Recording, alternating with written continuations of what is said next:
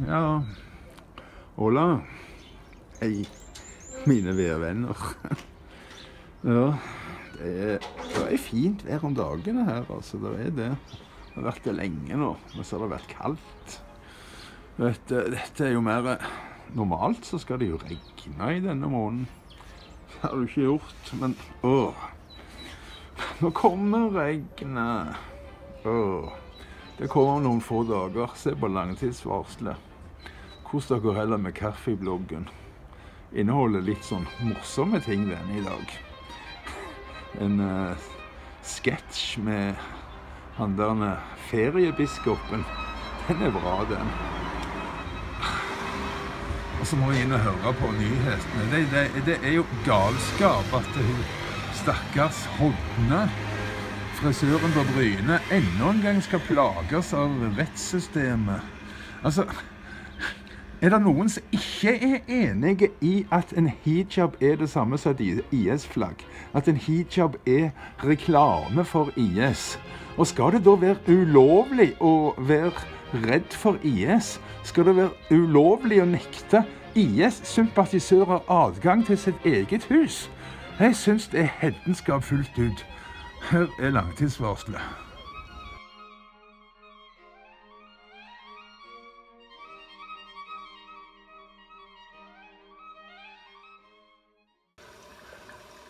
Jeg er jo helt klar med kaffebloggen ennå. Må først trakte kaffen. Vi får se noen bilder fra i går mens vi venter. Ja, men har vi oss. Jeg er på vei til frisøren. Uff, det er kaldt her. jeg orker ikke ha det lange håret uansett om det er kaldt, så jeg får heller begynne å bruke huet. Det er irriterende med så langt hår. Så dere får snart se hvordan jeg ser ut når jeg har vært hos frisøren. Ja, det er jo et ganske fint vær, hadde det ikke vært for temperaturen, da. Det var jo morgenfrost, da, men det har jo kommet seg litt opp i temperatur nå. Ja, nå er det inn her jeg skal. Da vi se om man kan få meg til å se ut som et menneske, og ikke som et taggras. Jeg tenkte når jeg hørte den vitsen i kaffebloggen med Harald Heide Steen og Wesenlund, den om hengende hager, at jeg kunne nesten ha bygd hengende hager på hodet mitt. Men nå skal jeg få orden på det. Nå skal jeg begynne å se fin ut.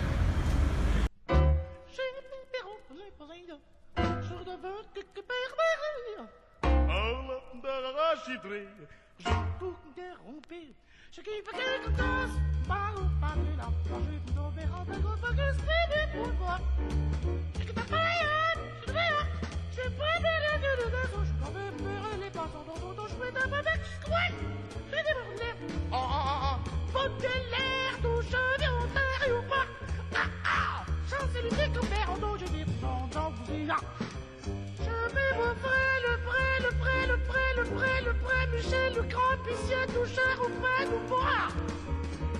Je vais faire au petit âge, nous l'idame, je vais au bon opposé, et faire au y'a de bon au verre, on bon, bon.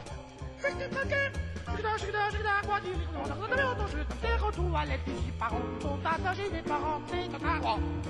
J'ai fait mes ordonnances, c'est dans oh, eh, oh, ta de côté, ta gueule, ta gueule, ta gueule, ta gueule, ta gueule, ta gueule, ah bon, je vais retaper enfants de France, coule la chute de Gaulle, qu'on connaît, qu'on tue, vitage, vitage, vitage, qu'on aurait commis le de. Nous va revaler, va bon, c'est bon, c'est bon, ah ah, oh, oh, oh bon, c'est bon, allez, dis-moi, oh oh, oh, oh, oh, j'y vais, des repas, de pain, le pain, je t'amène, on peut repérer les pistons pour ton chat, ah ah, opérons, on va qu'on se ah, de chez Béret, en de colonie, catatoton, catastrophe, les dangers, on donne les dangers, je verrai, mirage, quand c'est pas, mirage, mirage, oh, Israël, que pas de merderie, je par en France, d'en voir, et dites bien, comme ça, de parole, bon, chez de parole, dans son pas, du baron, t'es là, vous à Louvre, oh, euh, à Louvre, à Louvre, à Louvre, à Louvre, ah, comment, comment ça va, Frédéric, toujours, Toujours, d'amour, la valu dans situation, repas, je pas de rompinard. Admirable. Oh, oh, oh, oh.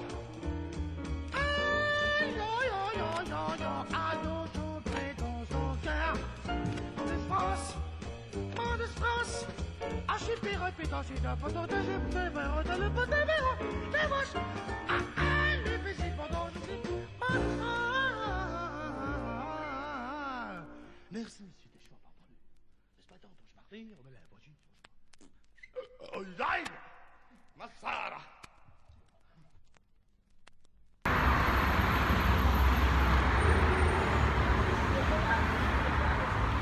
Så ikke det mye bedre ut. Nå kan jeg nesten eh, Nå trenger jeg ikke skjems å vise meg i kaffebloggen og ja, videobloggen. Der viser vi jo ikke så ofte, men nå kan jeg jo gjerne begynne å gjøre det òg. For nå ser jeg ikke ut som et hagras. Nå ser det ut som et menneske. Og det var en feil, veldig bra følelse å få vekk det der de hengende hagene.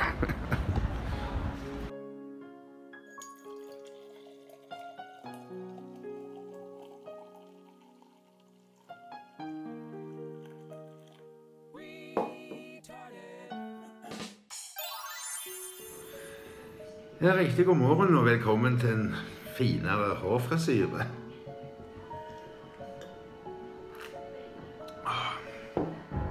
NRK Trollet står på i bakgrunnen her. Jeg tenkte jeg skulle si litt om det de snakker om akkurat nå. De snakker om det fantastiske norske helselandet som er så rike at alle får det best. At Norge har, Norge har verdens beste helsesystem, som alle tror da. Jeg har ikke hørt om eh, at det er noe vanlig med korridorpasienter i Spania. Jeg har faktisk aldri hørt om problemstillingen korridorpasienter i Spania. Jeg skal ikke si at det ikke kan eksistere. Det gjør kanskje det, men jeg har aldri hørt om det. Men i Norge da har de gjort det på den måten nå at eh, Arbeiderpartiet var jo de som spesielt også satt dørene ved vidt og slapp inn eh, masse folk med resistente bakterier, såkalte flyktninger. Egentlig så var de kommersielle emigranter. De var med på å ødelegge hele ordet flyktning. Altså, De har jo klart å gjøre flyktning om til et firebokstavers ord. Min tid så var flyktningen helt. Vi likte flyktninger. De klarte å komme seg vekk fra undertrykkende regimer. Hele Europa sto klar til å ta imot dem. Bare husk på hva som skjedde når muren falt. Alle de var flyktninger. Vi var jo helt ville for å få mest mulig flyktninger til Europa. Ikke nå lenger. Eh, Det var det med bakterieresistens. Altså I stedet for å hive ut de, da, så hiver de ut de andre. Sånn at de som har resistente bakterier, får en hel, hel avdeling for seg sjøl. Og alle de andre som lå der, de havner på gangen.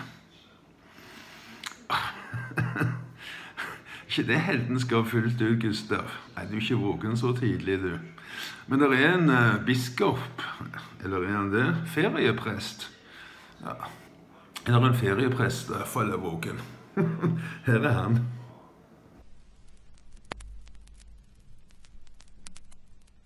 Det er jo ofte slik med oss mennesker at vi er i tvil. Ja, det skal jeg si. Vi er i tvil, er vi, ja. og vi har tvilen i oss. Akkurat. Vi Og vi vet ikke hvilken vei vi skal gå. Nei.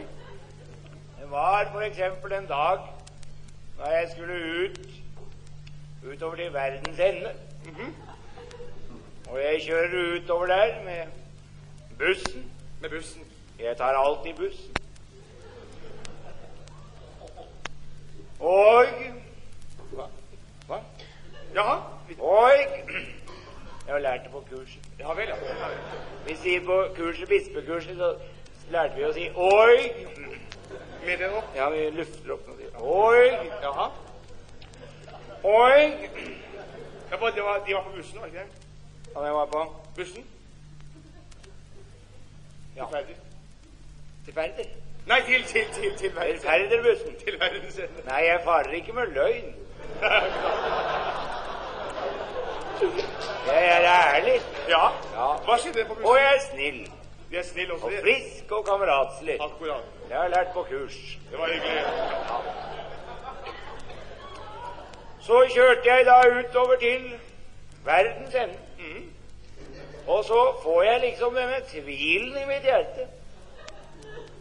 Hvorpå jeg reiser meg og går frem til sjåføren, som jeg kjente som en veldig god mann.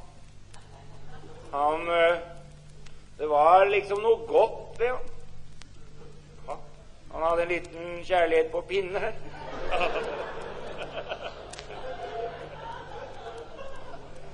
Hva med han? Han pleier alltid å ha noe godt over seg. Karameller eller hva som helst. Henger nedover. Han kan jo ikke se og kjøre omtrent, men han er så god. Han er så god, ja. Ja, han er så god. Og så får jeg denne tvilen over. Og hva tror dere jeg gjorde da? Og nå spør jeg dere alle sammen. Hver eneste en. Både rik og fattig. Og snekkeren bak sin benk og slakteren bak sin lungmos.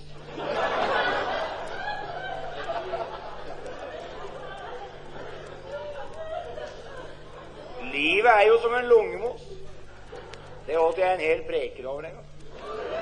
Altså. Ja. Det var jo flere som ble syke, måtte ut. Si meg en gang, eh, Bjørknes. Sånn kan man ta feil. Akkurat. Jo, men la meg nå fortelle denne historien, da. Masakråke. Jeg trodde du var ferdig. Her er gutten sin som ikke går av veien for kraftuttrykk. Nei. Masakråke, sier jeg. Så Hvor langt har jeg kommet? De var på bussen til verdens ende. Ja, jeg har vel kommet til havna omtrent, da. Ja, det var han med de gode over seg. Ja, han over med seg. gode over seg. Og så sier jeg til denne bussjåføren, for jeg hadde fått tvilen i meg Og det vet du kanskje hva er. For den har vi vel i oss en gang imellom, alle sammen. Hvis du går i deg selv. Og det er ikke så lett. Man har mye lettere for å gå i andre.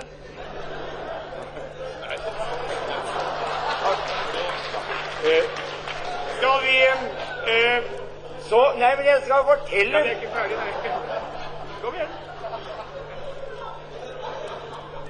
Bare fortell. Møll. Det er navnet på en kollega av meg. Ja. Vær så god. Ord, ordet er deres, Kjellis. Ja. Takk for det. Vær så god.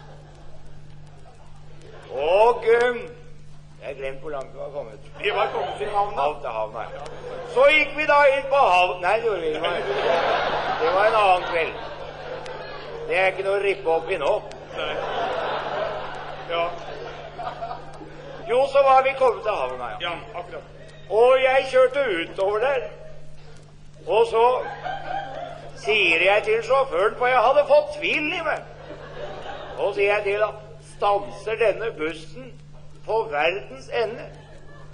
Så ser han på meg, tok vekk karamellen og så på meg.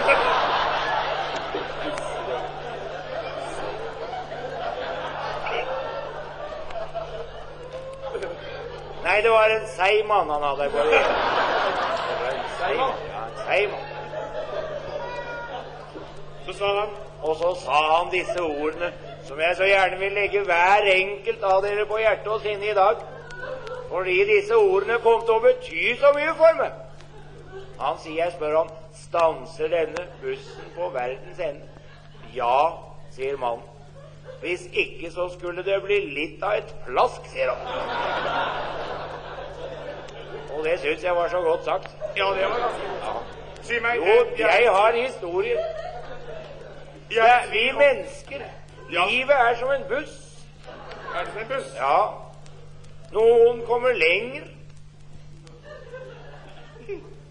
Nei, det er Si Det meg er som en buss. Bjørknes. uh, Jeg har så Vi har en konduktør, Har en konduktør? ja, Hvor enn da? og vi har en bussjåfør. Og vi må vite hvor vi skal. Hvis ikke så kommer vi galt av sted. Livet er som en buss. Det var godt sagt. Det var ikke noe. Ja, mange sånne bilder. Det er veldig vanskelig mange ganger å få alle disse bildene til å gå opp. Ja. Er. Her om dagen sa min kone kunne du ikke holde en preken over dette med vannski, sier hun. Og jeg syntes jeg var bra. Og så prøvde jeg, sa jeg skal gjøre det, sa jeg, for det er jo med oss mennesker som det er med vannski. Det går fremover hvis vi har noen til å drive oss. Og, men så gikk jeg på vei til Kirkevoll og tenkte jeg kan ikke holde om vannski. Det er så vanskelig å få det til å gå opp. Det glir liksom ikke unna. Så da jeg holdt prekenen, så kom jeg til å holde den om kjærlighetslivet, om forholdet mellom mann og kvinne, som skal være ren. Og så var det en dame i menigheten der som møtte min kone etterpå. Og så sier hun jeg hørte deres mann preke om søndag. Og det er jo en veldig, veldig erfaring han har der, sier hun. Og så sa min kone Det kan jeg ikke forstå, sa hun. Så vidt jeg vet, har han bare forsøkt det to ganger, og begge ganger falt han av.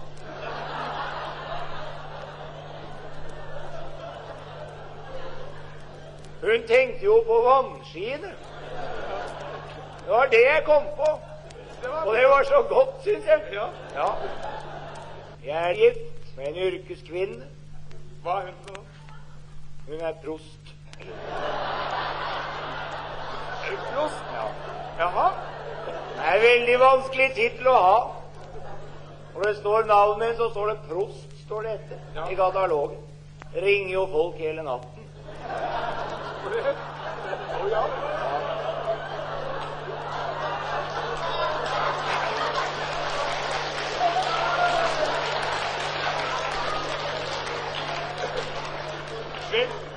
Vi har vært gift i ti år. gratulerer. Ja, takk for det. Og hele denne tiden, i disse ti årene, har jeg elsket samme kvinne. Og den dagen min kone får vite det, så blir det et helvete. Det.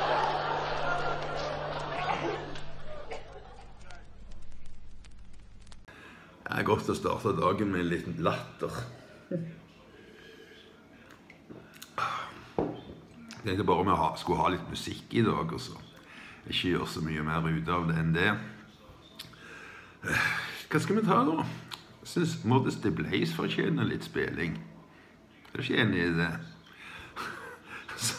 Jeg syns at han PT er noe av det morsomste som fins på hele Facebook. Jeg digger de kommentarene hans. Alltid om morgenen så står brillene så skjevt på meg. Jeg fatter ikke det. det. Ja.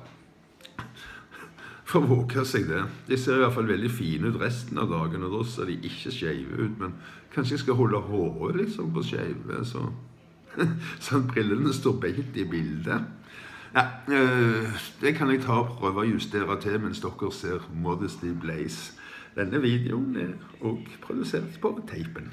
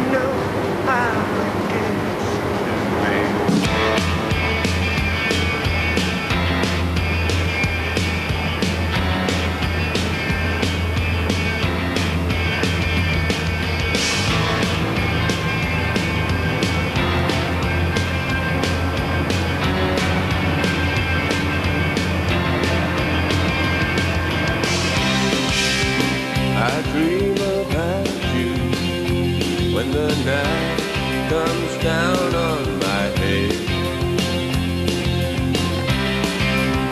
I think about you when the days get too hard to take. Oh my love, you're somebody.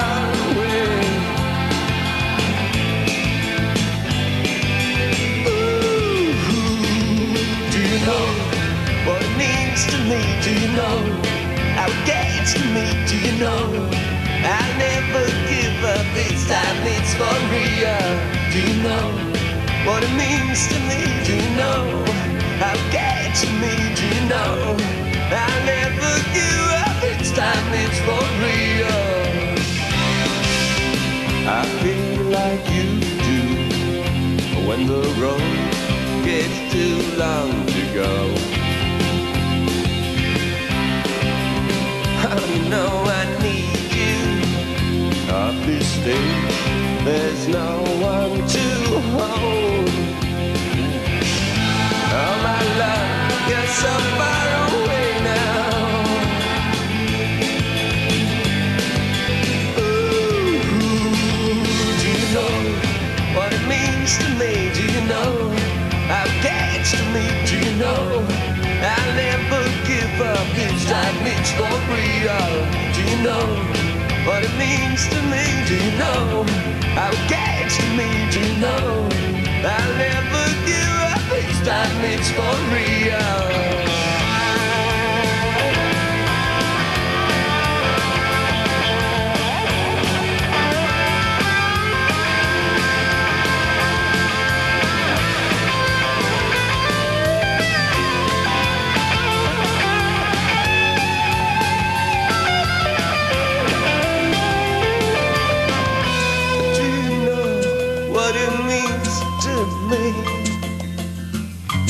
Do you know how it gets to me?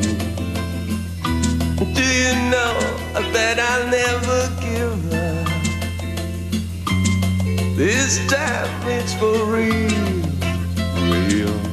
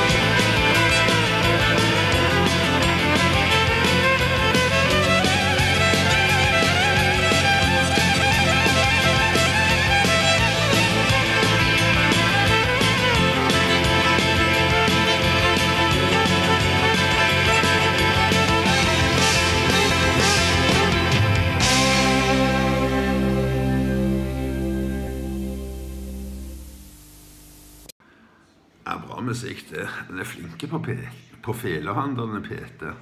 Olsson flinke. Eh, ja, vi hadde jo Teipen-crewet med på stort sett alle konsertene vi gjorde når vi gjorde eh, opptak for RTV. For du vet, vi skulle jo bemanne gjerne fire-fem kameraer. Lydmikser, masse rigging. Eh, Stort sett så tok jeg bilde, miks og regi sjøl, men det var ikke alltid det heller. Så vi brukte veldig mye teipen. Et av de første vi brukte de på, det var Munch.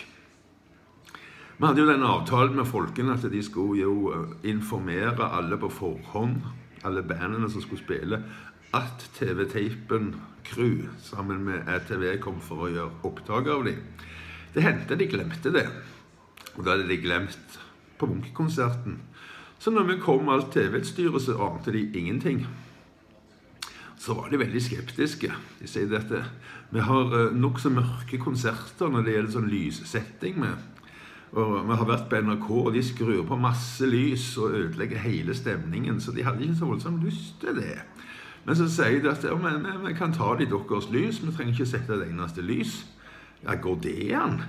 Ja, sier det gjør jo det. Da blir det omtrent sånn som konserten deres er. Hørtes spennende ut, sa de. Så da gjorde vi opptak av konserten.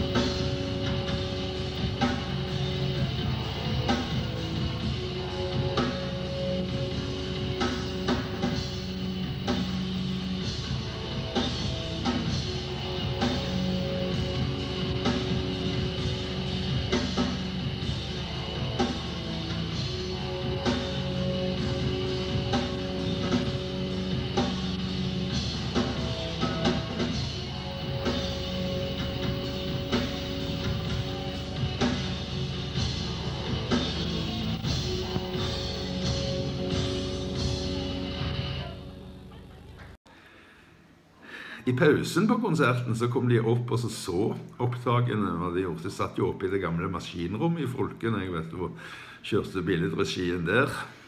Kom de opp og så. Syntes de det var så bra. Så når de gikk ned på scenen så igjen og etter pausen, så bare fortsatte de og fortsatte de og fortsatte. De spilte gjennom hele repertoaret. Så når de kom så langt som uh, til at folk ville ha ekstranummer, så må vokalisten si at vi har ikke noe mer. Vi har spilt opp alt. Det er rett og slett ikke noe mer igjen på eh, programmet her. Så uh, jeg ble nødt for oss å spille om igjen. Dere kan finne hele konserten på uh, YouTube. Bare søk etter Munch av avskjedskonsert i Folken. Eh, han er i en gammel versjon som er shoppa opp i 100 beder eller noe sånt. Så velg en der står at det er hele konserten, så slipper du å skifte fil hvert tiende minutt. Vet, sånn var jo YouTube før i tiden. at Du måtte jo shoppe opp alt i mindre enn ti minutters sekvenser. Og så måtte du gjøre dårlig kvalitet på dem, for at eh, du kunne kun ha 100 ja, Det kan ikke ha vært kilobyte, men det var så små filer. 100 megabyte var det største du kunne ha. Og ikke sant? Hvis du tenker 10 minutter, 100 megabyte, så er det nødt for å bli et veldig dårlig bilde. Så YouTube var jo elendig bildekvalitet i årevis. Det er kun i den nyere tid at du kan laste opp lange videoer i full resolution. Og det gjør jo at uh, det er et par bilder fra gamle dager her som uh, ikke er i full resolution. Og det har jeg tenkt å gjøre noen ting med med de nærmeste kaffebloggene. Altså, jeg nå uttrykte jeg meg litt feil. Som har blitt lasta opp uten at det har blitt i full resolution. Det er litt sånn gamle ting fra i sommer. Det var jo en med i går. Jeg sa den, jeg trodde den var fra Placencia, men så var den fra Guadeloupe. Så jeg skal ikke si hvor hen jeg tror at dagens sånne ukjente klipp er fra. I hvert fall fra i sommer. Jeg kan si det så mye at den er enten fra Placencia eller fra Guadeloupe, eller så er den fra området midt imellom som heter Talavera la Vera. Det blir spennende å se for både meg og deg. Dere får ha en riktig, riktig god dag, og så slutter vi med dette. Jeg syns det er kjekt jeg, å se opptaker fra gamle dager. Så dere får bare skru av gamle dager, sier jeg. Det er jo et halvt år siden. Men dere får bare skru av hvis dere har sett det før. Men dere har i hvert fall ikke sett det i high definition før. Det er første gangen. Ha en riktig, riktig god dag. Hola amigos. Ja, vi har havna litt på etterskudd pga. nettproblemer. Dette her er torsdag 21. juli. De holder på å hogge en masse trær i den rundkjøringen med campingplassen. Opp den bakken der er opp til byen den lange veien. Rett fram der er mot Alia og den eh, utrolige sykkelturen som vi viste for et par år siden. Opp den bakken der har vi tenkt å gå. Det er i retning Merida. Men vi har nå tenkt å bare gå tre, snaue tre kilometer oppover. For vi tenkte å komme oss inn på den Sylt-jernbanen. Den uh, jernbanen som skulle gått mellom uh, Vienoveva og uh, Talavera. Men det ble jo aldri noe av det, da. Det har jo bare blitt fine turstier. Og her uh, starta han. Ja, starte og starte. Det er jo andre bedre igjen. Men det her det er sånn kontinuerlig tursti på den gamle, i det gamle jernbanetraseen. Kan ikke se jernbanesporet, for det har jo aldri vært det. Litt skyer på himmelen, men det skader ikke i det hele tatt når temperaturen er så høye som de er nå. Det har rett og slett ikke noe betydning. Ikke engang å få temperaturen ned, for de er jo veldig spredte. Så det var en riktig varm dag å gå en såpass lang tur. Nydelig turterreng. Og når du først kommer deg opp på denne her eh, jernbanestrekningen, så er det selvsagt ganske flatt. Det er jo bygd som jernbane, dette her. Så du kunne vel egentlig gått tur med rullestol her. Ja, jeg tror det kunne gått, det. Ja, nå begynner vi å nærme oss en av de to tunnelene. Den uh, har jo litt mer sånn tradisjonell togtunnelform. For ett spor, den som ligger borte med jernbanen, den er tydeligvis beregnet til to spor, for den er nokså brei. Så du kunne jo egentlig tatt den for å være en vanlig biltunnel. Ja, det er fremdeles noen som bruker esler. Det er jo veldig hyggelig. Bruken av esler i Spania har dessverre gått kraftig ned de ti siste årene. Synd det, for esler er jo fantastisk kjekke dyr. Ja, her er den eh, smaleste av eh, jernbanetunnelene.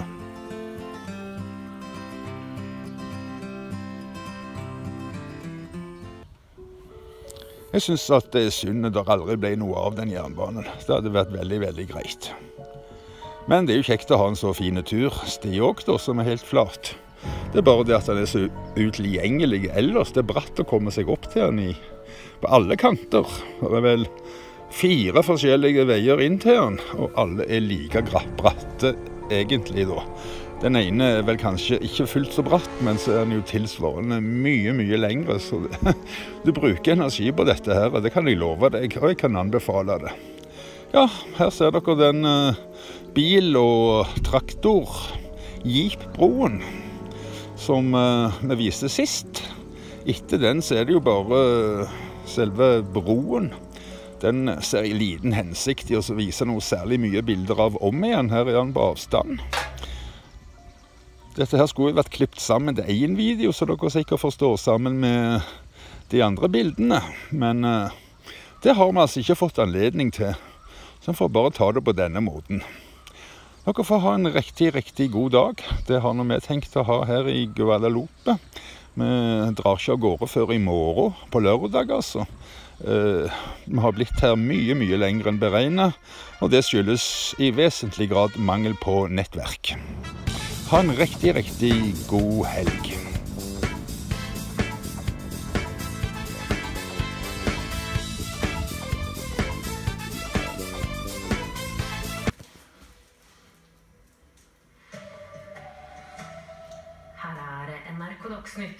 Dagsnytt. Jeg må jo si at jeg finner det helt uakseptabelt i et demokrati å lukke dørene på den måten, sånn at vi ikke skal kunne følge med og gjøre opp vår egen mening. Altså Er det meningen at vi skal stole på påtalemyndighetene? Stole på øh, denne spesialeininga? Altså Vi vet jo at de ikke er kvalifiserte til jobben. Og så nå lukker de dørene, så vi får ikke vite noen ting. Og det er hedenskap. Hedenskap fullt ut.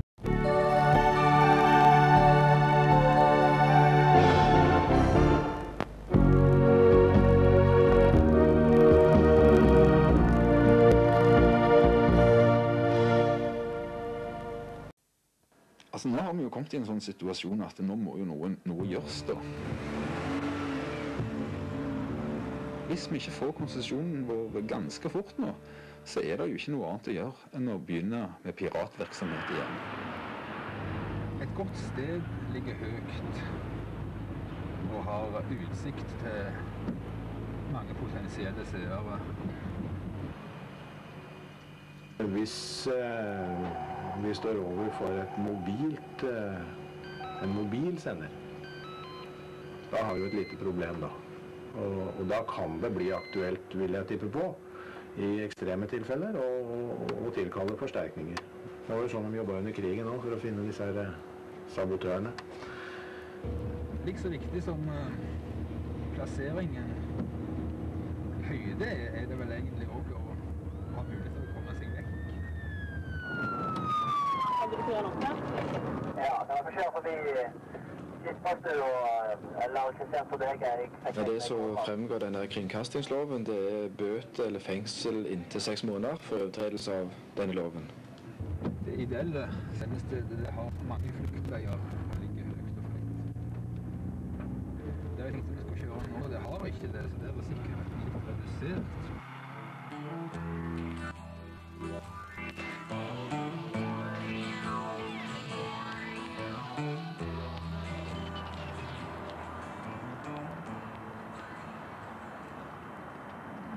Altså, jeg går jo i fengsel for mine meninger om nødvendig, da.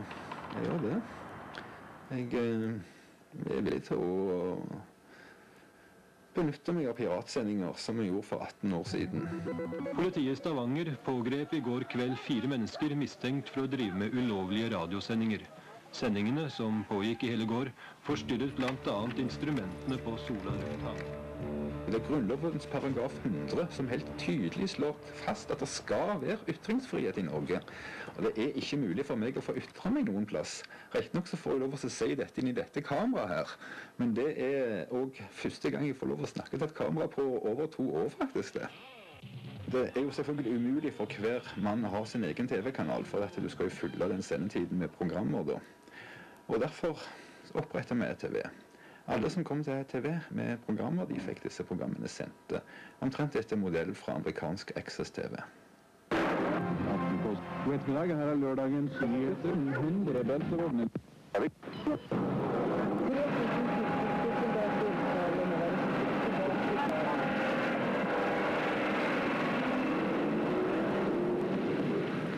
Vi pleier å si det sånn Velkommen til en velfortjent hvil, ETV.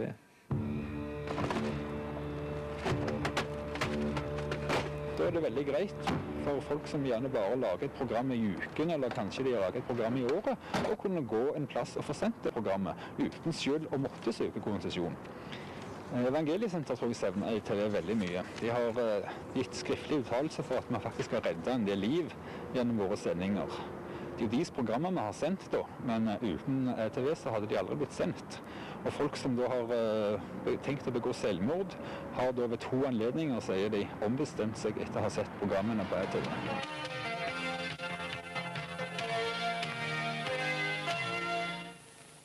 En tilflukt for den utslåtte evangeliesenteret. Vi har uh, mottatt eh, en veldig respons på det. Folk som har sett program fra Evangeliesenter TV, og folk som er i nød, har rusproblem, trenger hjelp.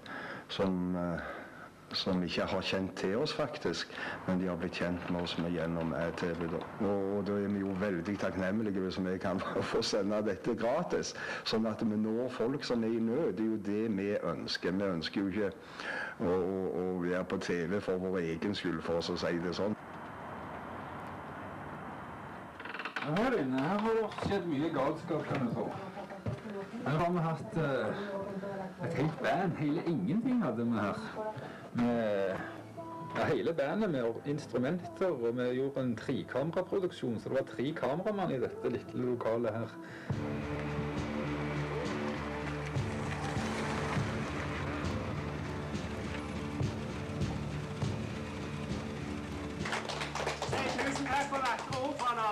Ønsker de velkommen tilbake med senere anledning. Det er en belastning. At eh, min seriøsitet skal bli redusert pga. at jeg sender programmer som andre har lagd. Pga. at jeg velger å sende programmer for det om eh, vi velger en annen kvalitetsstandard enn det NRK gjør.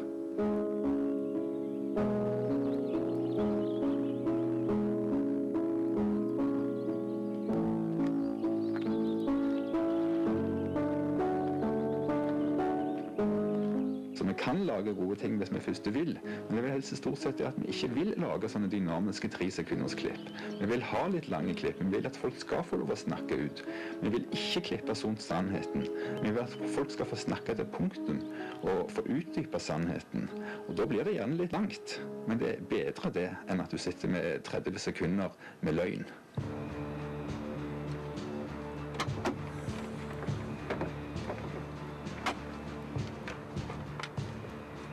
Vi søkte jo konsesjon umiddelbart etter at vi ble fratatt den gamle. Og vi har purra noen ganger. Sist gang for over ett år siden. Jeg har ringt en del ganger. Det kommer aldri noe svar fra Statens medieforvaltning. Så de trenerer saken og nekter eh, å besvare telefonen.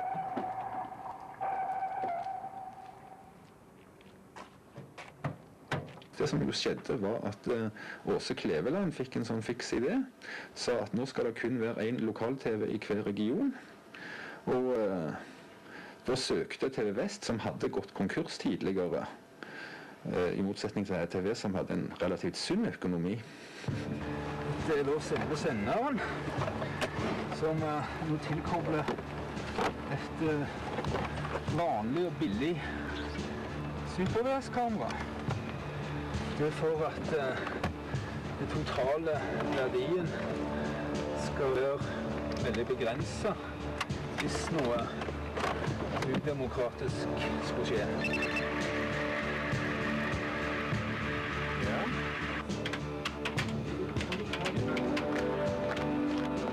Hvis eh, plutselig TV Vest begynte å stille seg åpen til å motta innslag fra absolutt alle, at til og med jeg kunne komme med der med en teip for en den sendt, så tror jeg nok at interessen min for å drive og kjempe mot monopolene ville være veldig redusert.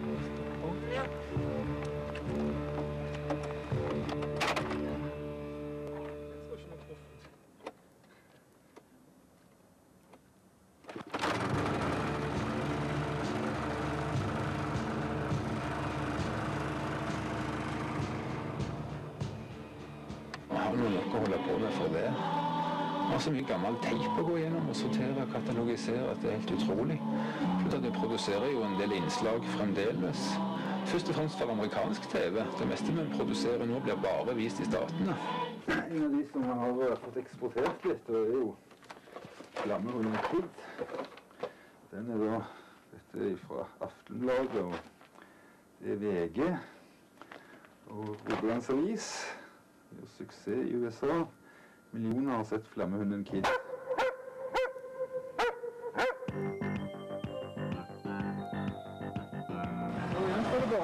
På. Slå på strømmen på videospilleren. Slå på strømmen på senderen.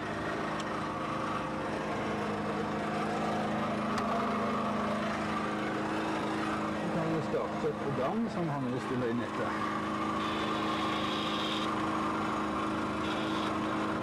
Det var NRK. Nei, det var TV 2.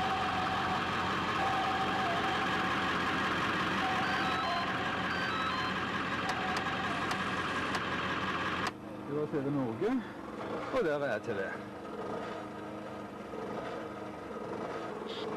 Ja, det kribler jo alltid litt i magen. Det medfører jo alltid en viss risiko å sende pirat-TV. Så eh, det er klart, jeg har jo alltid en viss nervøsitet for at noen skal komme og kjøre opp veien her, da. Nei, ytringsfrihet er for viktig til at du ikke skal ta sjansen. Og jeg syns jo at offeret er ikke så stort, da. Og det er litt slit, altså. Det er klart det er en belastning, men uh, sånn i forhold til utbytte så er ikke offeret for stort. Straffen er ikke streng, men bøtene er høye. For å si det vondt. Men så er det jo dette her med at vi skal følge våre lands lover. Men så, så vet jeg fra Bibelen at det hendte at, eh, at disiplene òg brøt loven. Og, og når fariseerne skulle ta dem, så forsvarte Jesus dem. Så eh, Jeg går ut ifra at eh, hvis jeg skulle bli fengsla, at Amnesty International har tenkt å engasjere seg i den saken. Så eh, jeg regner ikke med at jeg blir sittende inne i fengsel så veldig lenge. Men tar gjerne sjansen.